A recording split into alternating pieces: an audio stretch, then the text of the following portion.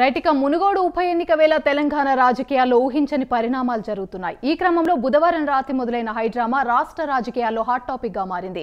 TRS నేతలు ఆ రోజు రాత్రి చేసిన హడావిడి తెల్లారేసరికి చల్లారిపోయింది. అర్ధరాత్రి ప్రభుత్వాన్ని కూల్చడానికి బీజేపీ ప్రయత్నించిందంటూ చేసిన రచ్చ మరుసటి రోజు సాయంత్రానికి అడ్రస్ లేకుండా పోయింది. అయితే ఎమ్మెల్యేల కొనుగోలు వ్యవహారంపై బీజేపీ నేతలు వేగంగా స్పందించారు.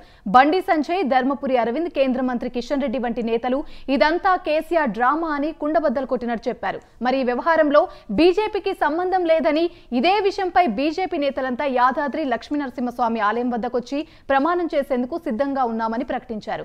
కేసీఆర్ ఈ డ్రామాలో పాత్ర లేదని భావిస్తే యాదాద్రికి వచ్చి ప్రమాణం చేయాలని సవాల్ విసిరారు. కానీ టీఆర్ఎస్ నేతలు మాత్రం ఇప్పటి వరకు స్పందించలేదు. ఒకవేళ ఈ వ్యవహారంలో టీఆర్ఎస్ పాత్ర లేకపోతే బండి సంజయ్ విసిరిన సవాల్పై టీఆర్ఎస్ అధిష్టానం కనీసం స్పందించలేదు. కానీ అలాంటిదేమీ కూడా ఇక్కడ జరగలేదు. శుక్రవారం సాయంత్రం కేసీఆర్ ఎమ్మెల్యేలతో కలిసి మీడియా ముందుకొస్తారని ప్రచారం జరిగినా అలాంటి పరిస్థితి ఎక్కడా కనిపించలేదు.